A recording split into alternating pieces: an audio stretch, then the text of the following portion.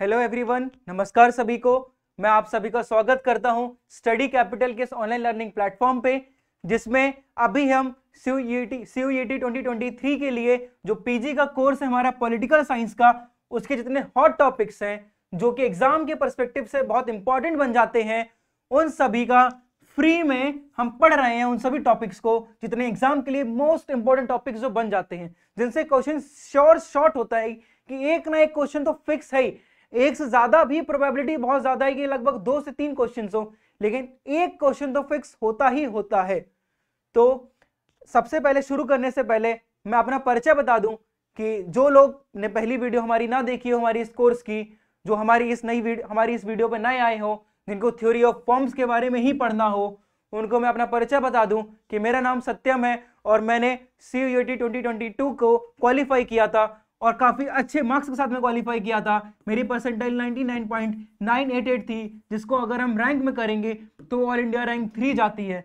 जिससे मेरा selection J N U B H U Jamia और जामिया का अलग एंट्रेंस हुआ था, जिसमें जामिया में मेरी ऑल इंडिया रैंक सेकेंड थी पॉलिटिकल साइंस में। इसके साथ में मेरा selection H C U Pondicherry university सभी, लगभग सभी जितनी प्रीमियर यूनिवर्सिटीज हैं हमारी, सभी मेरा सिलेक्शन हो गया था। अगर हम बात करें हमारे कोर्स की तो ये हमारा कोर्स है, जिसमें हम क्या कहते हैं, अभी फ़िलहाल हम फ्री टॉपिक्स पढ़ रहे हैं, लेकिन अगर किसी को हमारा कोर्स ज्वाइन करना हो तो वो हमारे इस नंबर व्हाट्सएप नंबर पे मैसेज कर सकता है, अपने नाम के साथ में, अपने कोर्स के साथ में, हमारी टीम आपसे कांटेक्ट करेगी और आप इस कोर्स में एडमिशन ले सकते हैं। आगे की वीडियो में आपको खुद ही समझ में आ जाएगा कि हमारा कोर्स ज्वाइन करने का आपको क्या फ़ायदा मिलेगा, क्योंकि ये एग्ज़ाम एक जर्नी है। ये जर्नी केवल हार्ड वर्क से आप एक्सेल नहीं कर सकते हैं। इस जर्नी में आपको हार्ड वर्क के साथ में चाहिए स्मार्ट वर्क। क्योंकि स्मार्ट वर्क में क्या होता है कि आपको कॉन्सेप्ट और फैक्चुअल चीज़ें, दोनों की जानकारी होना बहुत ज़रूरी हो जाती है। कभी कभी क्या होता है कि हम किसी चीज़ों को कॉन्सेप्चुअल पढ़ते रहते हैं, लेकिन हमारे पास सही डायरेक्शन नहीं होता है।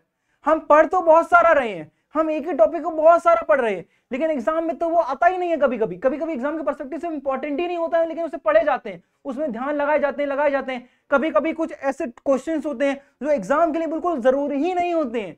लेकिन तब भी उन क्वेश्चन से फंसे रहते हैं इधर उधर सर्च करते रहते हैं और अपना टाइम वेस्ट करते रहते हैं। लेकिन हम, हमारे इस कोर्स साथ में जुड़ने के साथ में आपको सही गाइडेंस मिलेगी। मैं अपने एक्सपीरियंस आपके साथ में शेयर करूँगा कि कैसे मैंने इन जितने भी पीजी के एंट्रेंस एग्ज़ाम्स थे पॉलिटिकल साइंस के।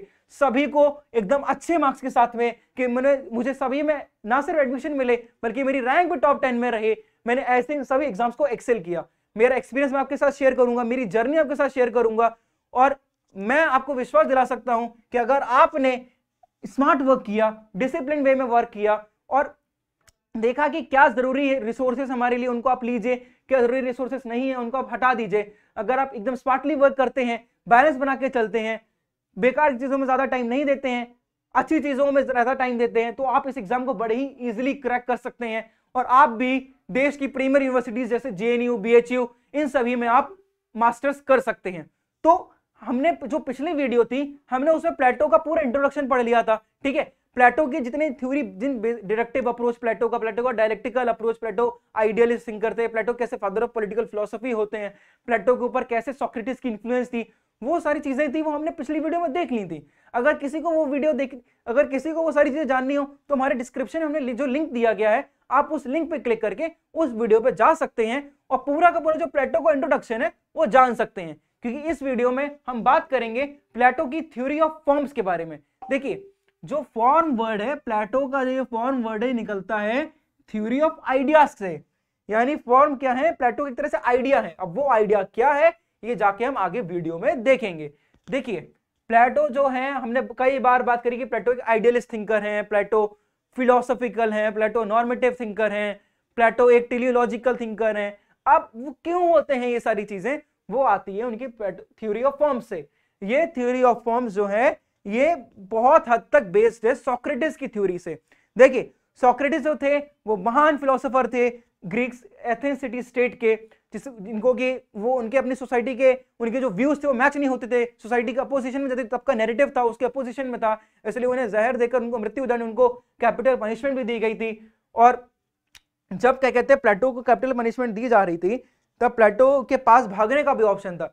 लेकिन प्लेटो ने भागने को मना कर दिया। प्लेटो ने बोल प्लेटो ने बोला कि भाई, मेरा शरीर अगर मर जाएगा तो मेरे आइडियाज़ जो हैं वो इमोटल हो जाएँगे, ठीक है? मेरे आइडियाज़ प्रॉस्पर हो जाएँगे। लेकिन अगर मैं यहाँ से भाग गया तो मेरा शरीर तो बच जाएगा, पर मेरे आइडियाज़ यहीं खत्म हो जाएँगे। तो ये जो फिलोसफी थी प्लेटो हमेशा जो मटेरियल चीज़ें होती हैं, जितनी हमारे पास मटेरियल चीज़ें होती हैं आसपास, उन सभी के ऊपर फिलोसफी को रखते थे। वो मानते थे कि फिलोसफी ही रियल नॉलेज है, ठीक है? अब अगर बात नॉलेज की आ गई है तो हम प्लेटो के जो आइडियाज़ यानी बिलीफ और नॉलेज के बीच में डिफरेंस उसको तो जान ही लेते हैं। देखिए प्लेटो क्या कहते हैं, या सोक्रेटिस और प्लेटो के लगभग लगभग व्यूज़ सेम ही है तो भी हम प्लेटो की बात करते हैं। प्लेटो, क्या कहते हैं? प्लेटो कहते हैं कि भाई, कि जो आइडियाज़ होते हैं, नॉलेज होती है, वो सर्टेन होती है और इनफॉलिबल होती है, ठीक है? अब अगर नॉलेज इनसर्टेन और इनफॉलिबल होती है तो ये नॉलेज है क्या? देखिए, प्लेटो जो है, वो आइडियाज़ और मटेरियल चीज़ों को डिवाइड कर देते हैं। प्लेटो क्या बोलते हैं? कि हमारे आसपास जितनी भी मटेरियलिस्टिक चीज़ें हैं, ठीक है? हम आसपास जितनी मटेरियलिस्टिक चीज़ें देख रहे हैं, वो सारी की सारी सिर्फ़ एक शेडो है। वो रियलिटी तो है ही नहीं। यानी हम आसपास जितना भी हमारे देख रहे हैं स्टूडियो देख रहे हैं हम। मैं अपने आसपास स्टूडियो देख रहा हूँ। आप जिस रूम में बैठ के पढ़ रहे हैं, आप उस रूम को देख रहे हैं। हमारे आसपास जितनी भी चीज़ें हैं, वो सिर्फ़ एक मटेरियल चीज़ें हैं और मटेरियल चीज़ें वो रियलिटी नहीं है। रियलिटी क्या है? रियलिटी है उसके पीछे के आइडिया यानी प्लेटो क्या कहते हैं कि जो जो आइडियाज़ होते हैं, वो रियल होते हैं और जो मैटर होता है वो बस इसकी एक शेडो मात्र होता है। सिर्फ़ एक शेडो होता है, वो रियलिटी नहीं है। हमारे साथ जितनी भी चीज़ें देखे, वो रियलिटी नहीं है। प्लेटो क्या कहते हैं? देखिए प्लेटो ने डिफ्रेंशिएट किया है बिलीफ और नॉलेज में। देखिए, आप इसको आप ध्यान से समझिएगा। प्लेटो क्या कहते हैं? इसी जो प्लेटो का ये जो व्यू है सोक्रेटिस इंस्पायर होता है। प्लेटो क्या कहते हैं? कि हम सभी का जो बिलीफ है, ठीक है, वो अलग अलग हो सकता है। देखिए सपोज़ करिए कि मुझे कोई चीज़ ब्यूटीफुल लगती है, ठीक है? वो ज़रूरी नहीं कि आपको भी ब्यूटीफुल लगे। मेरे लिए कोई चीज़ ब्यूटीफुल है, वो चीज़ आपके लिए ब्यूटीफुल नहीं है। मेरे लिए ये ब्यूटीफुल है, ये मेरे लिए ब्यूटीफुल नहीं है, ठीक है? ये मेरे लिए अच्छा है, ये मेरे लिए बुरा है, ठीक है? लेकिन ये बिलीव जो है, ये अलग अलग हो सकता है। यानी आपके लिए कोई चीज़ ब्यूटीफुल हो सकती है, वो मेरे लिए ब्यूटीफुल नहीं हो सकती है। मगर इसके पीछे का जो आइडिया है, वो क्या है? ब्यूटी ठीक है? ब्यूटीफुल के पीछे का जो आइडिया है वो क्या है? ब्यूटी। जो ब्यूटी होगी, वो सबके लिए एक ही होगी। उसकी, क्योंकि ब्यूटीफुल के पीछे का आइडिया है ब्यूटी, ठीक है? देखिए ब्यूटीफुल सबके लिए अलग अलग हो सकता है, लेकिन जो ब्यूटी है, ठीक है? ब्यूटी क्या है? उसके पीछे का आइडिया है है ना? आइडिया निकल के जो आ रहा है वो ब्यूटी है है ना? ब्यूटीफुल सबके लिए अलग अलग हो सकता है, लेकिन जो ब्यूटी है वो क्या है? वो एक ही है।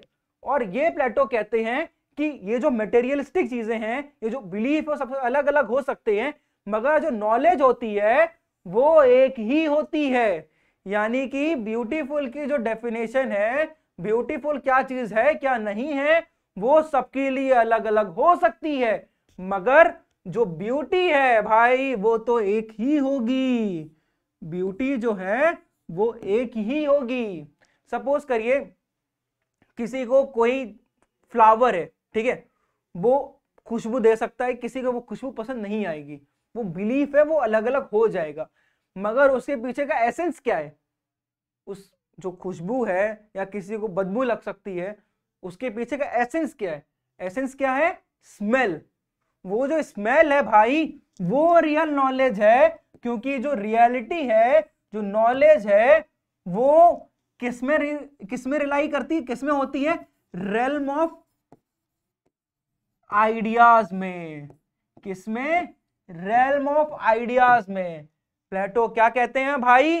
कि हम आसपास जितनी भी चीज़ें देख रहे हैं, हम तो भाई इन मटेरियलिस्टिक दुनिया में फंसे हुए हैं। हम क्या ब्यूटीफुल है, क्या नहीं है, खुशबू, बदबू, अपनी ज़िंदगी के सुख पूरे करने में लगे हुए हैं। मगर हम तो भाई रियलिटी से दूर हैं, क्योंकि रियलिटी तो भाई रेलम ऑफ़ आइडियाज़ में रहती है। ये जो हम अपने आसपास देख रहे हैं तो रियल है ही नहीं। देखिए, और फिर जो सबका अलग अलग बिलीफ हो सकता है, मगर जो अपने बिलीफ को, अपनी रैशनैलिटी के साथ में, अपने विजडम के साथ में प्रूव कर सके। देखिए सपोज़ करिए, सबके लिए ब्यूटीफुल अलग अलग हो सकता है, लेकिन जो एक विजडम वाला पर्सन होगा, ठीक है? सॉरी जो एक विजडम वाला पर्सन होगा, जिसके पास रैशनैलिटी है विजडम है, उसके लिए जो ब्यूटीफुल होगा, वो नॉलेज होगी क्योंकि वो अपनी रैशनैलिटी के थ्रू इस ब्यूटीफुल को प्रूव कर पा रहा है कि भाई ये चीज़ ब्यूटीफुल क्यों है? वो अपने विजडम के थ्रू अपनी रैशनैलिटी के थ्रू अपने बिलीफ को प्रूव कर पा रहा है तो उसका जो बिलीफ है, वो नॉलेज बन जाती है। तो एक अब देखिए, हमने क्या क्या देखा? हमने अभी तक क्या क्या देखा कंफ्यूजन मत रखिएगा, बिल्कुल भी बहुत ही सिंपल टॉपिक है कि हमारे आसपास जितनी भी चीज़ें हैं, वो मटेरियलिस्टिक चीज़ें हैं, ठीक है? कि भाई, ये अच्छा है, ये बुरा है है ना? ये, कुछ किसी चीज़ के लिए कोई अच्छा हो सकता है, किसी चीज़ के लिए, कोई चीज़ किसी के लिए बुरी हो सकती है, किसी चीज़, कोई चीज़ बदबू हो सकती है, कोई चीज़ खुशबू हो सकती है है ना? लेकिन उसके पीछे जो एसेंस होता है, वो एक ही होता है और वो होती है नॉलेज इसीलिए क्या बोले, बोलते हैं प्लेटो कि भाई नॉलेज इज़ सर्टेन नॉलेज क्या है भाई? सर्टेन इनफॉलेबल है कोई नॉलेज को डिनाई नहीं कर सकता है. देखिए, हम ये डिनाई कर सकते हैं कि भाई तुम्हें ये चीज़ ब्यूटीफुल लग रही है, मगर ये चीज़ ब्यूटीफुल नहीं है मेरे लिए. मैं इसको डिनाई कर सकता हूँ. मगर क्या मैं उसके पीछे को जो एसेंस है, जो ब्यूटी है, क्या मैं ब्यूटी को डिनाई कर सकता हूँ? क्या मैं ब्यूटी को मना कर सकता हूँ? भाई ब्यूटी तो ये होती ही नहीं है है ना? ब्यूटी जो है, उसके पीछे की भाई एक ही होती है, ऐसा प्लेटो कहते हैं। Knowledge is certain infallible knowledge क्या हो गई? नॉलेज हो गई जो आइडियाज़ में realm of rationality realm of ideas में जो रिलाई करती है, उसमें होती है। वो होती है सर्टेन और इनफॉलिबल और इसीलिए प्लेटो कहते हैं भाई वर्च्यू इज़ नॉलेज कि भाई, जो नॉलेज है, वही वर्च्यू है। यानी प्लेटो क्या कहते हैं, भाई, ये जो मटेरियलिस्टिक दुनिया है, इसमें तुम उलझे हुए हो। ये तो भाई रियलिटी नहीं है। इसमें तुम क्यों उलझे हुए हो? जो रियलिटी है, वो तो फिलोसफी है। वो तो रेलम ऑफ़ आइडियाज़ है। क्योंकि तुम जो अपने आसपास देख रहे हो, तुम जिसको पाने में लगे हुए हो, वो तो केवल शेडो मात्र है। वो तो एक परछाई है रियलिटी की। रियलिटी तो कुछ और है। देखिए, आप इसको जो वैदिक फिलोसफी है, उससे भी कनेक्ट कर सकते हैं। वैदिक फिलोसफी में क्या होता है? ब्रह्म सत्यम जगन मिथ्या कि सत्य क्या है? वो तो ब्रह्म है। और जो हम अपने आसपास देख रहे हैं, वो तो केवल मिथ्या मात्र है, वो तो केवल मिथोलॉजी है। जो अपने आसपास देख रहे हैं, वो तो मिथ्या है। हम अपने आसपास की मिथ्या में लगे हुए हैं, उसमें फंसे हुए हैं। लेकिन सत्य तो ब्रह्म है। सत्य तो कुछ और ही है, ब्रह्म है। और ब्रह्म सत्यम जगन मिथ्या। तो हम, जगत मिथ्या। तो हम किसमें लगे हुए हैं? कि हम अपने आसपास की मिथोलॉजी में लगे हुए हैं। लेकिन रियलिटी तो कुछ और ही है, ऐसा प्लेटो कहते हैं। लेकिन ब्रह्म सत्यम जगत मिथ्या में जो सत्य है, वो ब्रह्म है। और इसमें जो सत्य है वो प्लेटो के वर्ड ऑफ़ आइडियाज़ में रिलाई करता है। किसमें रिलाई करता है? वर्ड ऑफ़ आइडियाज़ में। तो ये डिफरेंस है कि प्लेटो का जो रियलिटी है, प्लेटो का जो ट्रुथ है, वो वर्ड ऑफ़ आइडियाज़ में रिलाई करता है और वही जो एक सर्टेन आइडिया है, वो नॉलेज है। नॉलेज बिलीव सबका अलग अलग हो सकता है, पर नॉलेज जो होती है, वो एक ही हो सकती है। और फिलोसफर जो होता है, जिसके पास विजडम होती है, उसके पास बहुत ज़्यादा रेशनैलिटी होती है। उसको, उसके पास अपने जो बिलीफ होता है, उसको प्रूव करने की, उसके पास रेशनैलिटी होती है विजडम होता है। इसलिए उसको पता होता है कि क्या सत्य है, क्या असत्य है, क्या झूठ है, क्या सच है। उसको पता होता है कि क्या नॉलेज है, उसके पास नॉलेज होती है। क्योंकि उसके पास ये विजडम होती है नॉलेज तक पहुँचने की। तो अगला पॉइंट क्या है कि भाई आइडिया इज़ रियल ये मैंने बताया ना कि जो मैटर है, वो तो जस्ट शेडो है। जो आइडिया है, वो रियल है। Beautiful is an opinion but beauty is knowledge खुशबू और बदबू, ये ओपिनियन हो सकते हैं, पर उनके पीछे का जो एसेंस है good smell and bad smell is can be an opinion but the essence behind them is smell which is real which is real अब देखिए, अब प्लेटो क्या बोलते हैं? यही जो हायर रियलिटी ऑफ़ ट्रूथ होता है, कि जो इस, जिसने ये जान लिया कि भाई, ये तो आसपास जो हम जी रहे हैं जो मेटेरियलिस्टिक दुनिया है, इसके पीछे के आइडिया जो होते हैं, वो रियल है और वही एक रियल नॉलेज है।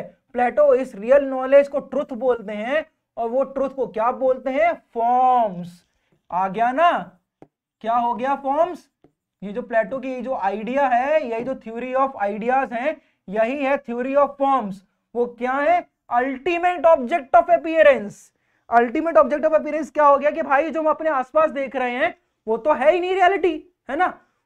अल्टीमेट ऑब्जेक्ट ऑफ़ अपियरेंस जो एकदम ब्रह्म सत्य तक पहुँच गया, जो इसने जान लिया कि भाई, ये तो रियलिटी है नहीं रियलिटी एक आइडिया है।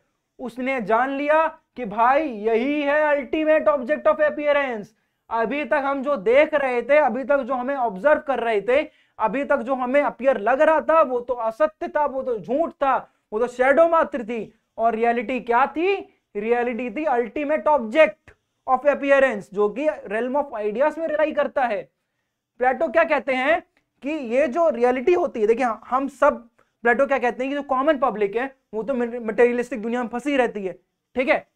वो जो अपने आसपास वो अपना खाना पूर्ति में लगी रहती है, अपनी फ़िज़िकल डिज़ाइन पूरी करने में लगी रहती है, वो जो कॉमन पब्लिक है, वो कैसे ही अटेंड कर सकती है नॉलेज कॉमन पब्लिक तो किसमें लगी रहती है? कॉमन पब्लिक तो लगी रहती है फ़िज़िकल डिज़ाइन पूरी करने में। तो अगर कॉमन पब्लिक को, अगर किसी भी इंसान को ये नॉलेज अटेंड करनी है, उसको जानना है कि भाई ये मटेरियल मटेरियलिस्टिक दुनिया के पीछे एक आइडिया की दुनिया जो रियलिटी है, देखिए, इसी वजह मुझे एक पॉइंट याद आ जाता है कि जो प्लेटो बात करते हैं कि भाई आइडिया इज़ रियल इसी से वो आइडियलिस्ट थिंकर है। ठीक है? वो मानते हैं कि आइडिया रियल होता है, आसपास जो हम अपनी मटेरियलिस्टिक दुनिया देख रहे हैं, वो फेक है, वो एक शेडो मात्र है। इसी से इंस्पायर होते हैं हीगल हीगल का भी यही है भाई, कि भाई क्या कहते हैं, यही है। मटेरियलिस्टिक दुनिया को सच नहीं मानते, वो आइडियाज़ के रेल में जीते हैं ना? फिलोसफी के रेल में जीते हैं। और इसी के जस्ट अपोजिशन में हम आगे जाके पढ़ेंगे कि आती है मार्क्स की थ्योरी मार्क्स क्या बोलते हैं? मार्क्स बोलते हैं कि भाई, जो हमारे आसपास जो मेटेरियलिस्टिक दुनिया है, वही रियलिटी है। और जो जितने भी आइडियोलॉजिकल हैं, जो आइडियाज़ हैं आइडियोलॉजी है ये क्या होती है?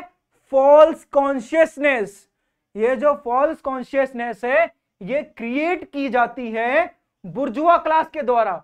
बुर्जुआ क्लास कौन होते हैं? जो कि अमीर लोग थे मार्क्स के टाइम के, जो कैपिटलिस्ट लोग थे, उनको मार्क्स बोलते हैं बुर्जुआ लोग। और ये बुर्जुआ लोग आइडियाज़ और आइडियोलॉजी को क्रिएट करते हैं अपने मटेरियल दुनिया को सस्टेन करने के लिए। यानी मार्क्स की जो थ्योरी है वो जस्ट प्लेटो के आइडियलिस्ट थ्योरी के अगेंस्ट में आती है। मार्क्स बोलते हैं कि भाई, जो मटेरियल दुनिया है, वही सत्य है। बाकी सब तो केवल आपको गुमराह करने के लिए बोला जा रहा है। ये जो आइडिया की दुनिया है, ये कौन बोलता है? ये बोलते हैं मार्क्स, जो कि प्लेटो के अगेंस्ट में आते हैं। अब भाई, इसके आगे, प्लेटो जो बोलते हो क्या बोलते हैं भाई रैशनैलिटी चाहिए। देखो, तुम ये जो आम दिमाग, ये जो आम सोच है, जिसमें तुम सोच रहे हो कि भाई तुम आ, क्या कहते हैं ये मिट्टी क्या कहते हैं सिर्फ़ तुम खाना पूर्ति सोचो तुम सोच रहे कैसे ज़्यादा पैसा कमा सकें कैसे अपनी फ़िज़िकल डिज़ायर पूरी कर सके है ना? सिर्फ़ तुम वही सोच रहे हो तुम्हारा नॉर्मल दिमाग है। तुम नॉर्मल दिमाग से क्या कहते हैं ज़्यादा नहीं सोच सकते हो। तुम नॉर्मल दिमाग से नॉलेज को नहीं कर सकते हो क्योंकि नॉर्मल दिमाग तो तुम्हारा वही सोचेगा मटेरियल दुनिया। नॉर्मल दिमाग तो तुम्हारा उसी में खुश है कि तुम्हें दो रोटी मिल जाए भाई ऐशो आराम ज़िंदगी जी लो सबसे ज़्यादा पैसे कमा लो बंगला खरीद लो। पर नॉर्मल दिमाग तो वहीं तक सोचेगा कि नॉर्मल दिमाग को चाहिए है नॉर्मल दिमाग जो होता है, उसको चाहिए मटेरियलिस्टिक दुनिया। क्या चाहिए उसको? मटेरियलिस्टिक दुनिया।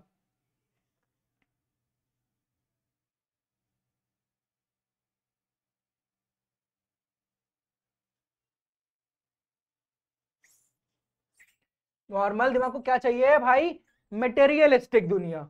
अब जब नॉर्मल दिमाग को मटेरियलिस्टिक दुनिया चाहिए है वो ये ज़िंदगी के जो सुख चैन है, जो मटेरियल सुख चैन है, उनमें खुश है तो उससे आप नॉलेज अटेंड नहीं कर सकते क्योंकि उसमें आप जो आइडियाज़ के रेल में वो जा ही नहीं पाएँगे। वो आइडियाज़ के रेल में जाने के लिए आपको चाहिए है रैशनैलिटी क्या चाहिए है? रैशनैलिटी विजडम और अपने इस थ्योरी को प्रूव करने के लिए प्लेटो जो है, अपनी जैसे प्लेटो ने एक दुनिया बना ली आइडिया की भाई आइडिया रियल होता है, और जो एक आम जन है, जो आम दिमाग है, वो उसको जान नहीं पाता क्योंकि वो मटेरियल दुनिया में फंसा रहता है। और जो जान जाता है, उसके उसके पास क्या होती है? विजडम होती है, उसके पास रैशनैलिटी होती है। ठीक है? अब प्लेटो जो है, अपनी इस थ्योरी को प्रूव करने के लिए कई तरह के उपमा, जिसे हम बोल सकते हैं कंपेयर करना, कि कई तरह के जो एनोलॉजीज होती हैं, कि आप क्या कहते हैं, किसी और चीज़ से कंपेयर करके आप अपनी चीज़ को प्रूव कर सकें तो वो उनका यूज़ करते हैं। उसमें सबसे पहले क्या आती है? एलिगरी ऑफ़ केव प्लेटो बोलते हैं कि, भाई सपोज़ करिए, एक अंधेरी गुफा है ठीक है? एक गुफा है और गुफा के अंदर कुछ लोग जो हैं, गुफा के अंदर कुछ लोग बंद हैं। उनके क्या कहते हैं, एकदम बंधे हुए हैं वो चेन्स में बंधे हुए हैं और अंधेरा है वहाँ। अब जो वो लोग मतलब हमेशा से बंधे हुए हैं वो, जितनी उनकी याददाश्त जाती है, जितनी दूर तक, ठीक है? जितना सोच सकते हैं वो पिछले पिछला अपना, उसमें वो यही है कि वो इस चेन से बंधे हुए इस अंधेरी दुनिया में केव के अंदर। अब जो वो लोग हैं, जो बंधे हुए हैं उनके लिए तो भाई, जो अपने आसपास जो अंधेरा देख रहे हैं, वही रियलिटी है। चेन में बंधे हुए हैं, वही रियलिटी है, उसी में वो खुश है। क्योंकि वो सोच ही नहीं सकते हैं कि इस अंधेरे के बाहर भी कोई दुनिया है। वो ये सोच ही नहीं सकते हैं कि भाई, इस गुफा के बाहर भी एक रोशनी की दुनिया है। जब वो ये चीज़ सोच ही नहीं सकते हैं कि इस गुफा के बाहर कोई दुनिया है तो उनके लिए रियलिटी क्या होगी? जो वो अंधेरे में बंद हैं, जो वो चेन्स में बंद हैं, वही उनके लिए रियलिटी होगी। तो वो तो उसमें खुश हैं, लेकिन यहीं पे आता है एक ट्विस्ट एक ऐसा इंसान आता है जो इनके साथ में बंधा हुआ है, पर उसके पास में है रेशनैलिटी उसके पास में है विजडम और वो विजडम और रेशनैलिटी के बल पर वो अपने जो साथी थे, जो उसके साथ में बंधे हुए थे, उनके अगेंस्ट में जाता है। कहा जाता है? उनके अगेंस्ट में। वो उनके अगेंस्ट में चला जाता है। वो बोलता है, नहीं भाई, तुम खुश हो सकते हो ऐसी दुनिया से, लेकिन तुम नहीं जानते हो कि सच नहीं है। सच तो कुछ और है, मैं वो सच को ढूँढने जा रहा हूँ। मैं अपने रैशनैलिटी के बल पे, मैं अपने विजडम के बल पे उस सच को ढूँढने जा रहा हूँ। और वो उसके साथी गण उसके मना करते कि, नहीं भाई, तुम ये क्या कर रहे हो? यही तो सच है जो हम लोग जी रहे हैं। शांति दुनिया जियो अपनी खाना पूर्ति करो भाई। क्यों? फालतू में तुम सही कहीं जा रहे फालतू परेशान होके जाके। यहीं रहो। लेकिन वो उसको उनको मना कर देता है, क्योंकि उसके पास होती है रैशनैलिटी और विजडम वो मना करके जैसे ही केव से बाहर आता है, उसको दिखती है रोशनी की दुनिया। उसको दिखता है अंधकार, उसका मिट जाता है, उसको खुली दुनिया दिखती है, उसको हरी भरी दुनिया दिखती है। तब उसे एहसास होता है, भाई, जो मैं अभी तक जो ज़िंदगी जी रहा था, वो तो केवल शेडो मात्र थी, वो तो रियलिटी थी नहीं। रियलिटी तो क्या है भाई? जो ये बाहर की दुनिया है, जो रोशनी की दुनिया है, जो हरी भरी दुनिया है, जो खुली दुनिया है। तो उसने अपनी रेशनलिटी से क्या प्राप्त कर लिया? उसने अपनी रेशनलिटी से ट्रूथ को प्राप्त कर लिया। उसने क्या प्राप्त कर लिया? उसने प्राप्त कर लिया अल्टीमेट ऑब्जेक्ट ऑफ़ अपियरेंस लेकिन अब इस इंसान के लिए जिसने, अब तो प्राप्त कर लिया इसने खुद। लेकिन अब इस इंसान के लिए प्रॉब्लमेटिक क्या हो गया? दूसरे लोगों को समझाना जाके कि भाई, अंदर जाके दूसरे लोगों को समझाना कि भाई, तुम यहाँ जो बंद हो, तुम्हें नहीं पता है कि बाहर की दुनिया कैसी है। लेकिन क्योंकि वो लोग विश्वास ही नहीं करेंगे उसके ऊपर। क्यों नहीं करेंगे? क्योंकि उन लोगों ने कभी अपना जो अंधकार है, अपना जो चेंज में बंद है उसके बाहर की दुनिया कभी उन्होंने सोची ही नहीं है। उनकी इमेजिनेशन में ही नहीं है। उनको पता ही नहीं है कि भाई ऐसी कोई दुनिया एग्जिस्ट भी करती है। जब उनको पता ही नहीं है कि ऐसी कोई दुनिया एग्जिस्ट करती है तो वो कैसे उसके ऊपर विश्वास कर लेंगे? तो ये जो भाई जिसके पास नेशनलिटी थी, जिसके पास विजडम था, जिससे उसने प्राप्त कर लिया सच को, अब इसके लिए बहुत मुश्किल बन जाता है। दूसरे लोगों को बताना लेकिन केवल यही एक इंसान है जो दूसरे लोगों को बता सकता है, क्योंकि केवल इसी को पता है सच क्या है। आगे जाके हम देखेंगे, यही इंसान बनता है प्लेटो का फिलोसोफर किंग। अभी हम फिलोसोफर किंग पे नहीं जाएँगे, हम जब प्लेटो के स्टेट डिस्कस करेंगे, प्लेटो की थ्योरी ऑफ़ जस्टिस डिस्कस करेंगे, तब हम जाएँगे फिलोसोफर किंग पर। लेकिन अभी के लिए इतना जान लीजिए, यही इंसान जिसने रेशनैलिटी थी जिसके पास, जिसने सच को प्राप्त कर लिया वही इंसान जाएगा और दूसरे लोगों को समझाएगा, उसका काम क्या है? दूसरे लोगों को भी गाइड करना। देखिए, वो जो इंसान होगा, उसने खुद के लिए तो सच प्राप्त कर लिया। अब वो अपनी शांति से ज़िंदगी जिए, उसको क्या पड़ी दूसरे लोगों को बताने की? लेकिन इसके पास ही रैशनैलिटी है कि वो खुद के बारे में ना सोचे। वो खुद के सुख के बारे में ना सोचकर दूसरों के सुख के बारे में सोचे। दूसरों की खुशी के बारे में सोचेगा तभी तो वो दूसरे लोगों को जाके बता पाएगा, क्योंकि उसने तो खुद प्राप्त कर लिया। जब आप खुद प्राप्त कर लेंगे, अपनी ज़िंदगी जियो भाई, उसको क्या पड़ी दूसरे लोगों की? लेकिन उसके पास रैशनैलिटी है, उसके पास विजडम है, इसलिए वो दूसरे लोगों के बारे में सोचेगा और उनको जाके बताने की कोशिश करेगा। अब देखिए, एक हो गई एक एनालॉजी अब आती है दूसरी एनालॉजी दूसरी एनालॉजी क्या है? दूसरी एनालॉजी है analogy of the sun Plato क्या बोलते हैं कि भाई, जो सोक्रेटिस हैं उन्होंने पूछा, ग्लोकॉन से? ग्लोकॉन थे वो एथेंस सिटी स्टेट के मान लीजिए नागरिक थे। सोक्रेटिस का ग्लोकॉन के पास। उनसे ग्लोकॉन गए सोक्रेटिस के पास। ग्लोकॉन ने पूछा कि, भाई सोक्रेटिस बताइए कि गुडनेस क्या है? हम बात करते हैं कि, भाई ये चीज़ गुड है, ये चीज़ बैड है, ये चीज़ गुड नहीं है। पर ये गुडनेस क्या है?